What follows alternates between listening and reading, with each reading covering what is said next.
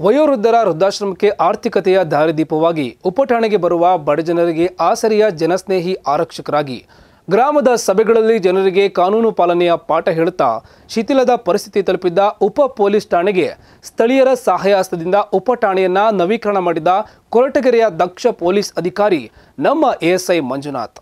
ಇದರ ಒಂದು ವರದಿ ಇದೆ ನೋಡ್ಕೊಂಬನಿ ಪೊಲೀಸ್ ಇಲಾಖೆಯ ಅಧಿಕಾರಿ ವರ್ಗ ನ್ಯಾಯವೇ ದೇವರು ಎಂಬ ಹಾದಿಯಲ್ಲಿ ಪ್ರತಿನಿತ್ಯ ಕೆಲಸ ಮಾಡ್ತಾರೆ. ಕೆಲ ಅಧಿಕಾರಿಗಳು ಮನುಷ್ಯ ಸಂಬಂಧಗಳಿಗೆ ಮಿಡಿಯುವ ಸಹೃದಯಗಳು ಆಗಿದ್ದಾರೆ.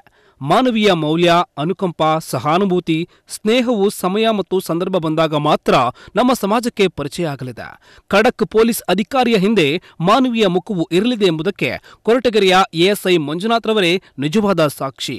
ಕೊರಟಗೆರೆ ತಾಲೂಕಿನ ಜಂಪೇನಹಳ್ಳಿ ಕ್ರಾಸ್ನಲ್ಲಿ ಅಪಘಾತವಾದ ಶಿರಾದ ಮಹಿಳೆಗೆ ತನ್ನ ವೈಯಕ್ತಿಕ ನೆರವಿನ ಜೊತೆ ಒಂದು ಲಕ್ಷ ಐವತ್ತು ಸಾವಿರ ಶಸ್ತ್ರಚಿಕಿತ್ಸೆಯ ವೆಚ್ಚ ಹಂಚಿಹಳ್ಳಿಯ ಮಹಿಳೆಯ ನಾಲ್ಕು ಲಕ್ಷ ಪರಿಹಾರ, ಅಪಘಾತವಾದ ವ್ಯಕ್ತಿಗೆ ಕಾಲು ಜೋಡಣೆಗೆ ಸಹಾಯಹಸ್ತ, ಕಿಡ್ನಿಯ ಸಮಸ್ಯೆಯ ಯುವಕನಿಗೆ ಧನ ಸಹಾಯ ಹೋಂಗಾರ್ಡ್ಗೆ ಸಹಾಯಹಸ್ತ ಸೇರಿದಂತೆ ನೂರಾರು ಜನರಿಗೆ ಆಸರಿಯಾಗಿ ಮೆಚ್ಚುಗೆಗೆ ಪಾತ್ರರಾಗಿದ್ದಾರೆ.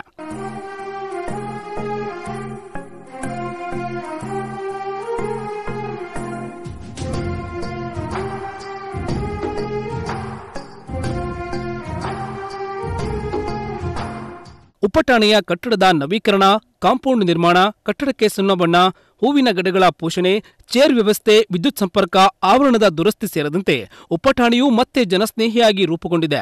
ಶಿಥಿಲವಾದ ಉಪಠಾಣೆಯು ಗ್ರಾಮ ಪಂಚಾಯಿತಿ ಮತ್ತು ಮುಖಂಡರ ಸಹಾಯಸದಿಂದ ಮತ್ತೆ ನವೀಕರಣವಾಗಿದೆ. ಹಿರಿಯ ಅಧಿಕಾರಿ ವರ್ಗ ಈಗಾಗಲೇ ಭೇಟಿ ನೀಡಿ ಮಂಜುನಾಥ್ರವರ ದಕ್ಷತೆಯ ಕೆಲಸಕ್ಕೆ ಪ್ರಶಂಸೆಯನ್ನ ವ್ಯಕ್ತಪಡಿಸಿದ್ದಾರೆ.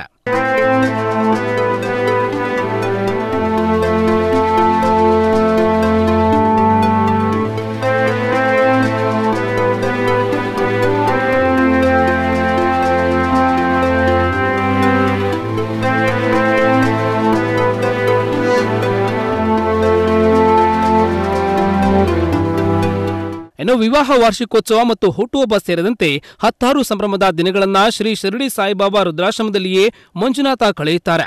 ಇದು ತುಮಕೂರು ಗ್ರಾಮಾಂತರ ತಾಲೂಕು ಊಡಿಗೆರೆ ಹೋಬಳಿ ಮೈದಾನ ಸಮೀಪದ ಕೊಂಡನಾಯಕನಹಟ್ಟಿ ಗ್ರಾಮದಲ್ಲಿದೆ. ಆತ್ಮೀಯ ಸ್ನೇಹಿತರು ಮತ್ತು ದಾನಿಗಳ ಸಹಾಯಸ್ಥಕ್ಕೆ ಇವರೇ ದಾರಿದೀಪವಾಗಿ ವೃದ್ಧಾಶ್ರಮಕ್ಕೆ ಆರ್ಥಿಕತೆಯ ಶಕ್ತಿ ಆಗಿದ್ದಾರೆ ಎಂದರೆ ತಪ್ಪಾಗಲಾರದು. ಸಾವಿರದ ಒಂಬೈನೂರ ತೊಂಬತ್ಮೂರರಲ್ಲಿ ಪೇದೆಯಾಗಿ ಪೊಲೀಸ್ ಇಲಾಖೆಗೆ ನೇಮಕವಾದ ಮಂಜುನಾಥ ಕಳೆದ ಮೂವತ್ತು ವರ್ಷದಿಂದ ತುಮಕೂರು ನಗರ, ಗುಬ್ಬಿ, ಮಡಿಗೇಶಿ, ಜಿಲ್ಲಾ ಪೊಲೀಸ್ ಕಚೇರಿ ಮತ್ತು ಕೊರಟಗೆರೆಯಲ್ಲಿ ಸೇವೆ ಸಲ್ಲಿಸಿದ್ದಾರೆ. ತುಮಕೂರು ತಾಲೂಕಿನ ನಾಗವಲ್ಲಿ ಗ್ರಾಮದ ವಾಸಿಯಾದ ಮಂಜುನಾಥ ಸುಖಕ್ಕಿಂತ ಹೆಚ್ಚು ಕಷ್ಟದ ದಿನಗಳನ್ನು ಎದುರಿಸಿರುವ ಪರಿಣಾಮ ಸಮಸ್ಯೆಯನ್ನು ಬಗೆಹರಿಸುವಲ್ಲಿ ಪ್ರಮುಖ ಪಾತ್ರ ವಹಿಸಿ ಜನಸ್ನೇಹಿಯಾಗಿಯೇ ಕೆಲಸ ಮಾಡ್ತಾರೆ.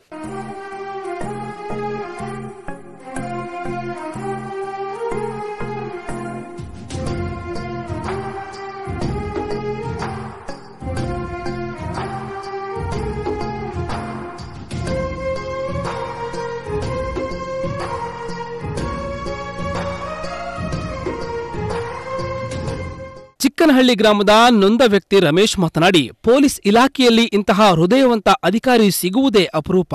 ನನಗೆ ತೋವಿನಕೆರೆ ಬಳಿ ಅಪಘಾತವಾಗಿ ಪ್ರಜ್ಞೆ ಇಲ್ಲದ ನನ್ನನ್ನ ಆಸ್ಪತ್ರೆಗೆ ದಾಖಲಿಸಿ ವೈದ್ಯಕೀಯ ಚಿಕಿತ್ಸೆಯ ಜೊತೆ ಹಣವನ್ನ ನೀಡಿ ಆಸರೆಯಾಗಿದ್ದಾರೆ ಎಂದರು. ನನ್ನ ಗಾಡಿ ತನಕು ನನ್ಗೆ ಇದಿಲ್ಲ ಏನಿಲ್ಲ ನಾನು ಆಸ್ಪತ್ರೆಗೆ ಹೊಟ್ಟಿದ್ದೀನಿ ಸರ್ ಅಂದೆ. ಇಲ್ಲಪ್ಪ ಗಾಡಿ ಹಿಂಗೆ ಬಿಡಂಗಿಲ್ಲ ಅಲ್ಲೇ ನಾಲ್ಕು ತಿಂಗಳಾಯ್ತು ನಿನ್ನ ಗಾಡಿಯಲ್ಲಿ ಬಿದ್ದು. ಅಲ್ಲಿ ಸ್ವಲ್ಪ ನಿನ್ನ ಸ್ಟೇಷನ್ ಹತ್ರ ಬಾರಪ್ಪ ಅಂದ್ರು.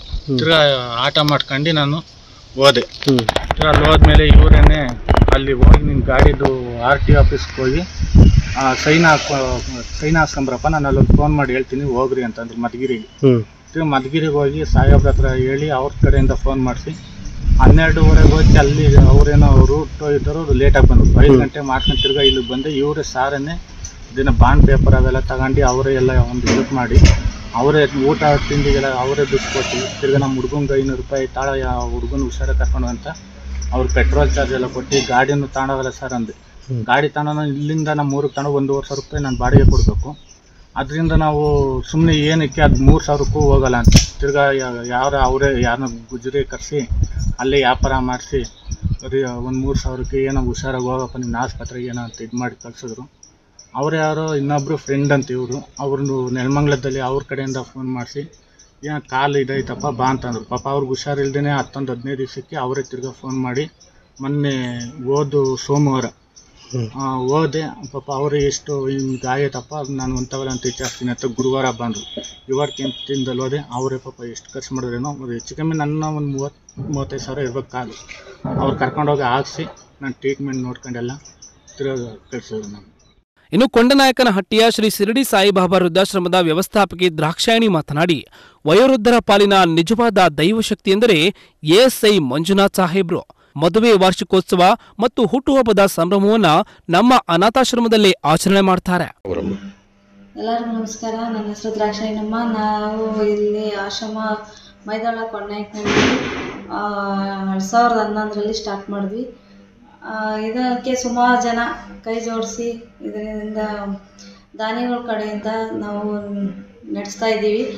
ಅದರಲ್ಲಿ ವಿಶೇಷವಾಗಿ ಮಂಜುನಾಥ ಸರ್ ಸುಮಾರು ಜನನ ದಾನಿಗಳನ್ನ ಇಲ್ಲಿಗೆ ಕರ್ಕೊಂಬಂದು ನಮ್ಮ ಆಶ್ರಮಕ್ಕೆ ತುಂಬಾ ಹೆಲ್ಪ್ ಮಾಡ್ತಿದ್ದಾರೆ. ಅದರಲ್ಲಿ ವಿಶೇಷವಾಗಿ ಅಡಿಷನ್ ಎಸ್ ಪಿ ಮತ್ತು ಅವ್ರ ಕಡೆ ಆಫೀಸರ್ಸ್ ಎಲ್ಲ ಕರ್ಕೊಂಬಂದು ಬರ್ತ್ಡೇ ಇರ್ಬೋದು ವೆಡ್ಡಿಂಗ್ ಆ್ಯನಿವರ್ಸರಿ ಇರ್ಬೋದು ತುಂಬಾ ಇಲ್ಲಿ ಕೈ ಜೋಡಿಸಿ ತುಂಬಾ ಇಲ್ಲಿ ನಮಗೆ ಎರಡು ಸಾವಿರದ ಹದಿಮೂರರಿಂದನೂ ನಮಗೆ ಹೆಲ್ಪ್ ಮಾಡ್ತಾ ಇದ್ದಾರೆ.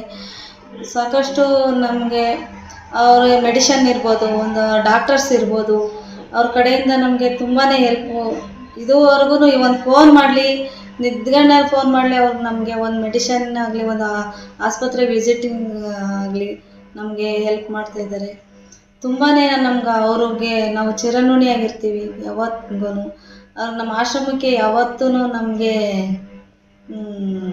ಯಾವುದು ಕಾರ್ಯಕ್ಕೂ ಅಷ್ಟೇ ಆಗಲ್ಲ ಅಂತ ಹೇಳಲ್ಲ.